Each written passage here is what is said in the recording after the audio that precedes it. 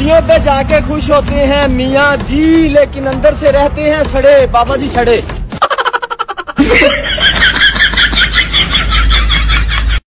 ਸਲਾਮ ਅਲੈਕੁਮ ਡਾਕਟਰ ਸਾਹਿਬ ਵਾਲੇਕੁਮ ਸਲਾਮ ਡਾਕਟਰ ਸਾਹਿਬ ਮੈਂ ਤੁਹਾਡੇ ਕੋਲ ਡੇਲੀ 100 ਰੁਪਏ ਦੀ ਦਵਾਈ ਲੈ ਕੇ ਜਾ ਰਿਹਾ ਮੈਨੂੰ ਕੋਈ ਫਾਇਦਾ ਨਹੀਂ ਹੋ ਰਿਹਾ ਅੱਜ 70 ਦੀ ਲੈ ਜਾ 30 ਦਾ ਫਾਇਦਾ ਹੋਏਗਾ ਚੱਲ ਯਾਰ ਟਿਕਟੌਕ ਦੀ ਵੀਡੀਓ ਬਣਾਈਏ ਨਹੀਂ ਯਾਰ ਮੂਡ ਕੋਈ ਨਹੀਂ ਤੂੰ ਮੈਨੂੰ ਈਜ਼ੀ ਲੈ ਰਿਹਾ ਟੀਵੀ ਵਾਲੇ ਮੇਰੇ ਪਿੱਛੇ ਨੇ ਉਹ ਕਿਉਂ ਮੈਂ ਉਹਨਾਂ ਦਾ ਚੋਰੀ ਕਰ ਲਿਆ शरीफ को एक दफ़ा बताया अपने फ्लैट का जब मैंने नया नया लिया।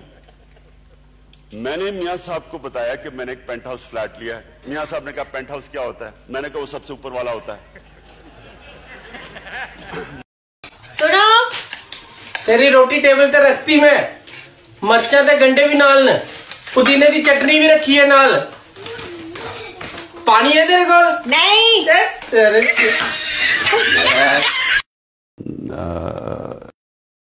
ਯਾਰ ਤੁਹਾਨੂੰ ਕਿੰਨੀ ਵਾਰੀ ਕਿਹਾ 3 ਡਾਟ ਤੇ ਜਾਓ ਅਦਰਸ ਤੇ ਪੰਜ ਵਾਰੀ ਕਲਿੱਕ ਕਰੋ ਤੁਹਾਡੀ ਵੀਡੀਓ ਫੋਰ ਯੂ ਚ ਚੱਲੇਗੀ बड़ा बुरा हमारा रिएक्शन आपके खिलाफ आएगा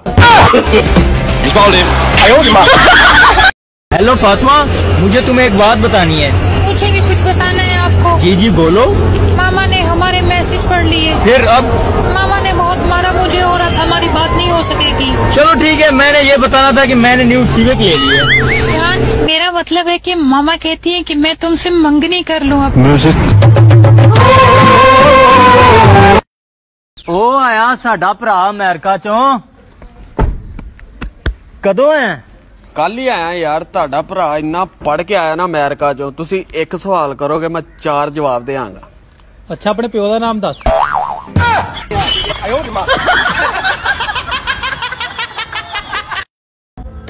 ਸ਼ਰੀਕੋ ਤੁਸੀਂ ਵੇਖਿਆ ਨਾ ਬੈਰੀਆ ਟਾਊਨ ਦੇ ਵਿੱਚ ਆ ਕੇ ਦੋਵੇਂ ਮਿਲੀਆਂ ਬਾਬਾ ਜੀ ਬਾਗੜ ਮਿਲੀਆਂ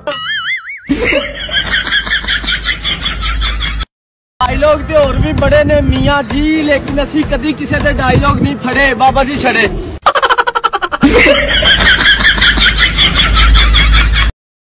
ਵੀਰੇ ਆ ਕੀ ਹੋਈ ਯਾਰ ਮੈਂ ਚਿੜੀਆ ਘਰ ਗਿਆ ਸ਼ੇਰ ਬੜਾ ਪਰੇਸ਼ਾਨ ਸੀ ਪਿੰਜਰਾ ਖੋਲ ਕੇ ਮੈਂ ਅੰਦਰ ਗਿਆ ਮੈਂ ਥਾਪੜਾ ਮਾਰਿਆ ਮੈਂ ਕਿਹਾ ਸ਼ੇਰ ਬਣ ਸ਼ੇਰ तो तमोड़ तबाह खा गया। हेलो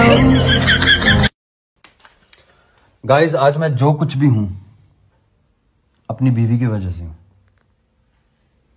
वरना यकीन करे बहुत आगे जा सकता था।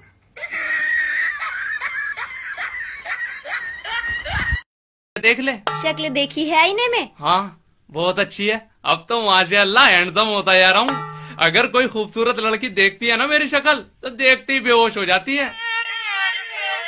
मैं तो नहीं हुई। खूबसूरत लड़की की बात। नीत ये देखो जिराफ की गर्दन कितनी लंबी होती है ना?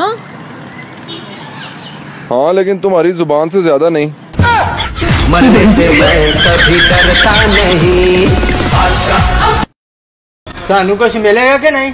भाई दुकान ही ढाडी है। चल बाहर।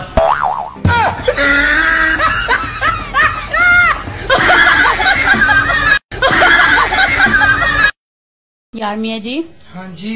2020 में मैंने आपका कभी दिल दुखाया हो या आपको कभी तंग किया हो या आपकी कोई बात ना मानी हो तो प्लीज़ परेशान ना होना। दो हज़ार इक्कीस में भी मैं यही करूँगी।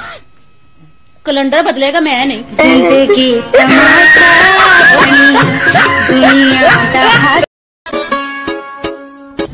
एक लाहौरी से सरगोदे जाने का रास्ता पूछा। अब हम मुल्तान में हलवा खा रहे हैं। ये ले रनाडोना आपकी तनख्वाह। और ये ले शेख साहब आपकी तनख्वाह। भाई इसमें एक हज़ार रुपया कम है। शेख साहब बड़ी बात है। पिछले महीने जब हज़ार रुपया ज़्यादा चला गया था तब तो नहीं बोले आप बड़ा कह रहे हैं हज़ार कम में भाई तब तुम्हारी पहली गलती थी तो मैंने माफ़ कर दिया। अब हर बार तुम्हारी गलती नहीं माफ़ कर सकता।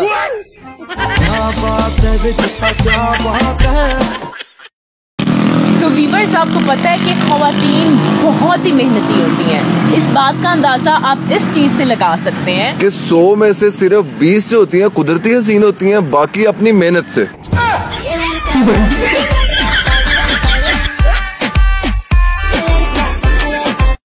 मूड सही कर लो ना यार थोड़ी प्यार दी गल कर दी गुस्से नहीं कही यार मूड मैं सही कर लांगा यार तू मुंडेबाजी घटा तेरी मेहरबानी। मैं नंबर बदल लेना बस।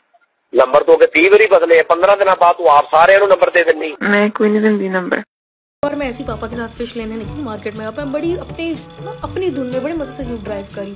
मेरे पास से शम करके एक बाइक गुजरी मेरे अब्बा ध्यान करेंगे मैं यूँ मैंने कहा क्या हुआ?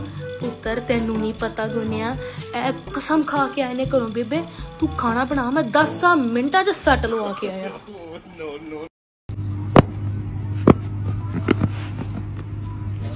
अगला बोनसर मार के सिर फाड़ने में तेरा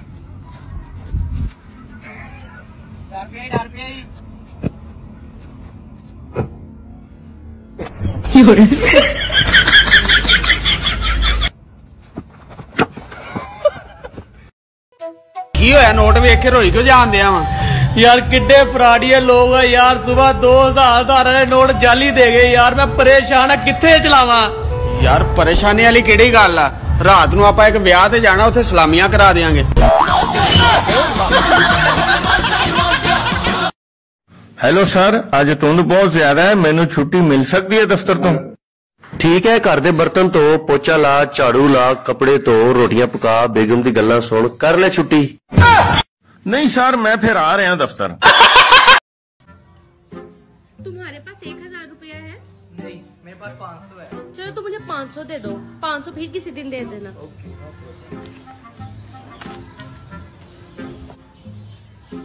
वो जो तुमने मुझे पाँच सौ रुपया देना था वो मुझे वापस वो जो तुमने मुझे उस दिन पाँच सौ दिया था ना और पाँच सौ रहता था ना उसमें से जो पाँच सौ रुपया अब देना था वो दे दो मुझे। अभी मेरे पास पैसे ही नहीं। चलो ऐसा करो वो पाँच सौ रुपया तुम ही रख लो तुम्हारा मेरा हिसाब बराबर। भाई थोड़ा साथ हो जाए। जी जी। इनके नहीं अपनी बेगम के।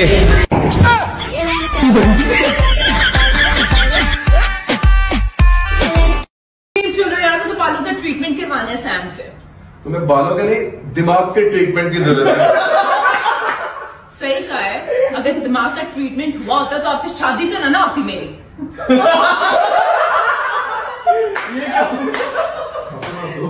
या जी हम रहते हैं वेले कुछ करते नहीं है क्योंकि हम किसी से डरते नहीं है। बाबा जी चढ़े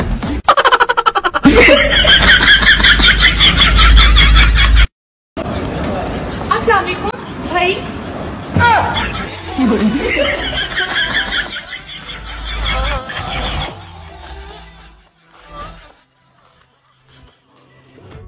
अबे कौन है बे तू? प्रधानमंत्री।